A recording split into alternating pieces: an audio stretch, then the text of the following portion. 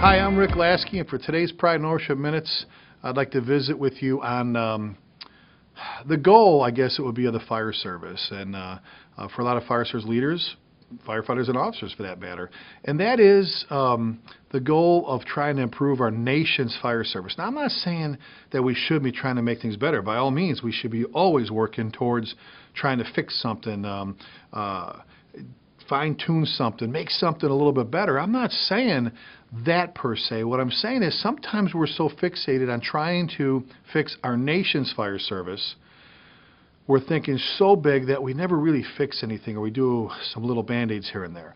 It's kind of like the same thing uh, when you're trying, you know, to fix your whole state's fire service or your whole county's fire service or your your whole department or whatever, where maybe the goal should be to kind of knock over the pegs one at a time.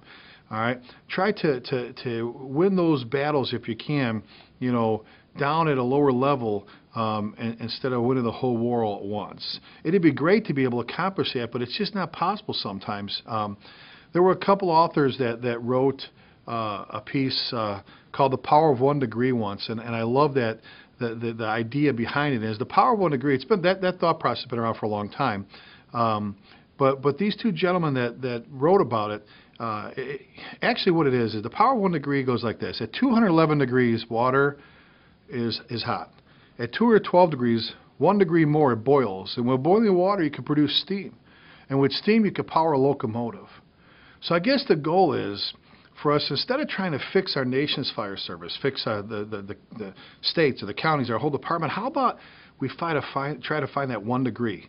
What is your one degree? I don't know for a lot of people. I tell folks in class, your one degree may be you're going to go back and mentor a, a young firefighter a little bit better. You're going to show up a little bit early for work. You're going to show up for a few more calls at your volunteer department. Check your air pack better. Train a little bit harder. I don't know. You know, all I do know is if if we can get just a handful of people here and there and there to go after and find their one degree, the, the effects are, are, are absolutely phenomenal when you think about it. And, and in doing so, we can make a difference in our department as a whole our county's fire service, our state's fire service, and our nation's fire service. So see what you can do. Go back, find that one degree and, and, and tackle that. Find that one degree and work on it. Find that one degree and get just a little bit better at what we do.